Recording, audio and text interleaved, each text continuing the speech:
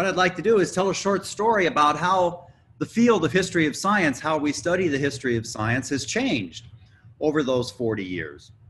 When I started, when I was in the university, when you studied the history of science, you studied the history of theories. You studied the history of Ptolemy's theory of the universe, or you studied the history of Newtonian gravity, or you studied the history of Charles Darwin's theory of evolution. It was the big ideas that we studied. And then in the 1990s, uh, there was a kind of shift. Historians like to talk about turns, where there's a turn from one kind of question to a turn for another to another kind of question. And in the 90s, people started saying, well, yes, science produces these big theories, but how does it do it? Uh, what do scientists actually do to produce theories? Uh, how do they work in the field? How do they work in laboratories? How do they how do they design experiments, etc.? And this turn was called the practical turn, where you moved from theory to what was called the realm of scientific practice. And that means you start following scientists not just when they publish their big papers with the theory or write a big book like Darwin's Theory on Evolution, but instead you study Darwin very carefully when he's on the Beagle and you look at his diaries and you look at his notes and you see exactly how he was interacting day by day with nature. Well, in the area that I've worked, uh, it was moving into the laboratory and watching how experimental scientists were trying to produce what were called facts and then trying to produce knowledge out of that in their laboratory. And in laboratories, there are tools. And those tools are going to be, starting in the 19th century, called scientific instruments. So the, the practical turn, uh, one of the things to, that, that, that, showed this was a, a, very important book that was published uh, in the uh, late 80s called The Leviathan and the Air Pump. Uh, and this was one of the first books in the history of science that actually had an instrument, an air pump, in the title. Uh, it turns out that uh, that book still was very much at a high level of theory. Some of us think that the authors really never looked at air pumps very much, uh, but nonetheless, that was an important book for, for moving the field to start to look at scientific instruments. Likewise, in the 1980s, uh, an international group of curators and historians of science uh, started something called the Scientific Instrument Commission. These were people that worked with collections of historic scientific instruments um, and I became part of this. Uh, and my the, the focus of my study in history of science shifted from the big ideas to laboratory practice, and even more specifically, to the instruments that were used in laboratory practice.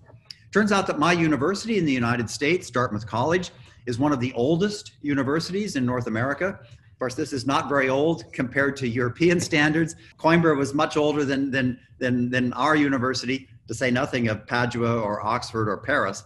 But we were started in the, in the 1760s, so that's 250 years. And my university had ha, has a, a collection of historic scientific apparatus. Nobody started to make this collection. The scientists simply didn't throw things away, uh, and so old apparatus starts to build up. And uh, about uh, 50 years ago, a physics professor at my university started to collect and, and put this material together. And now we have the second or the third largest collection in North America at a university. So I had a set of, you know, 4,000, 5,000 objects, uh, various kinds of scientific instruments at my disposal. I could teach seminars with students, I could make exhibits, and uh, I started to, to uh, study instruments. And this is now, in terms of history of science, we call it studying the material culture, studying the artifacts that make science possible, laboratories, buildings, observatories, instruments, materials, etc. This is now a big stream uh, in the history of science. So it's been a big change from this theory focused to the instrument focused. Um, I like I like to look at instruments as places very concrete to tell all kinds of stories uh, about how science works. Remember, the focus is on is on the, the practice of science. Uh, so, for example, uh, one of the, the most recent things we've added to Dartmouth's collection uh, is something called a Hipp chronoscope. It is a clock about this big that sits on a table, and it is the first mechanical stopwatch that could measure time to thousandths of a second. So it could measure a millisecond. It was invented by a Swiss clockmaker about 1850. Uh, and the, the one that Dartmouth has was made about in the 1880s. So they were manufactured pretty much the same style for about 70 years. Uh, they had serial numbers. They were made by just a couple companies, so we know exactly how many there are. And uh, a scholar in Germany has written a wonderful article where he's traced all these, so we, we sort of know where these, these apparatus are. But so why does science want to measure milliseconds? Why does it want to measure a thousandth of a second? So you've got the you've got the the apparatus. It's a very sophisticated little mechanical mechanism that uses electricity. It uses an electromagnet to to to, make, to move a clutch to start and stop the hands. That's the trick when you're trying to measure time mechanically at a thousandth of a second. You've got this wheel spinning very quickly, and you have to stop it and start it with you know millisecond precision. Uh, and so you have an electromagnet. By the 1820s, you had electromagnetism. And then by the 1850s, you get this electromagnetism built into this. But the rest of it's simply a mechanical clock. But it's very careful design with the Swiss clockmaking uh, that's there. Uh, so what did they do with this? So I worked with a student and we made we made an exhibit uh, about this and it was called Catching Milliseconds. Uh, and it turns out that, that when you have this device, you can suddenly start to do all kinds of things in the physical sciences and in the human sciences that you couldn't do before. So, for example, in physics, you can measure very short times. Uh, and in, in ballistics, you could measure, for example, uh, there were earlier examples of this, but you could, you could measure now how fast bullets go. So you shoot a bullet out of a gun, and you have two wires, and you can measure the time it takes for the bullet to go, you know, this far uh, with this clock. Uh, and there were other kinds of physics things where they were measuring very short intervals. But it makes possible, and this is an example of how the instrument moves and changes science, it makes possible new ways to study the human brain. Experimental psychology is emerging right at the same time in the 1850s, 1860s. And the, the new psychologists are trying to figure out how the brain works, uh, and they're using machines to measure things. And one of the things they measure are reaction times. So that when I say red, a certain word, you push a button. How long does it take for your brain to process that you said red to push a button? Well, that's milliseconds, this clock can measure. And then if I say another word, if I say a different word, let's suppose I say, uh, uh, you know, uh, freedom. Does it take your time? Does it take your brain longer to measure abstract words than it does concrete words? Well, to do that, you have to set subjects in front of this machine and you push buttons, and they measured milliseconds, and suddenly they had all kinds of ways. And for about 20 years, the best way to study brain function was to measure reaction times using this clock. So this, this device that was you know, sort of invented for physics turns out to make experimental psychology, a, a big research front in, in experimental psychology, uh, possible. It's used in astronomy uh, to measure what's called the personal equation. Uh, so 19th century astronomical observatories, including the one in, in Lisbon, uh, would build big telescopes that were in the meridian. And what they would do is simply measure the positions of stars. 19th century was this, in astronomy, was what we call natural history time. They were simply measuring what's in the sky with increasing precision. And to do that, you have to watch, wait for a, a, a star to move across the, the meridian, the north south line. And then when it's exactly in the middle of the meridian, the observer pushes a button and that's a reaction time. Uh, and it turns out that some observers had slower reaction times, some had faster reaction times.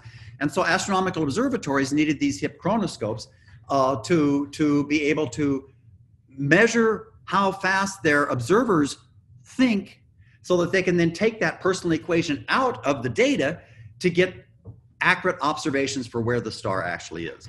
Uh, another example of how this, so this instrument is, is making short time measurement possible in ways that nobody dreamed.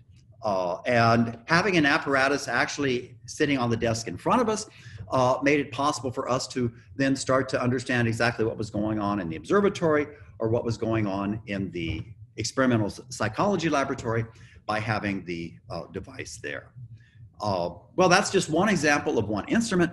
Uh, of course, there's many different kinds of instruments. Speaking of astronomy, uh, some of the earliest instruments that we talk about in the Western tradition, so-called astrolabe or armillary sphere, uh, are, are, brass instruments used to measure positions and the motions in the heavens uh, of, of, of, stars. You can tell time, you can find the direction to Mecca, uh, you can make a horoscope, house divisions, you can, do, you can do all kinds of things. So you've got these astronomical instruments.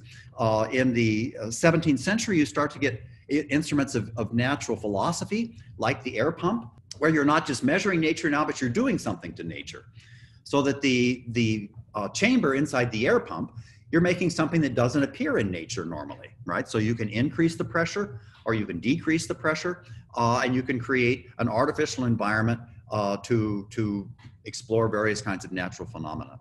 Uh, so that's an example. The microscope and the telescope optics are going to change what can be seen um, with uh, in, in the in the 17th century. Uh, the, these kind of apparatus emerged the thermometer. Galileo is going to in, invent a thermometer, so suddenly temperature becomes something that be quantified. So, so all kinds of, of uh, to, to do experimentation with nature requires for the most part tools, some kind of apparatus. Uh, and, and so you get starting in the 17th century, this massive explosion of, of uh, apparatus. And that is now what is uh, partially preserved in museums. Uh, and it's what curators in museums and historians like of science like myself who study instruments, uh, we, we uh, look at these things. Uh, and we, we find that, uh, just one final comment, uh, in terms of working with students and training students, uh, that the material turn in the history of science means that students need to be trained in new ways.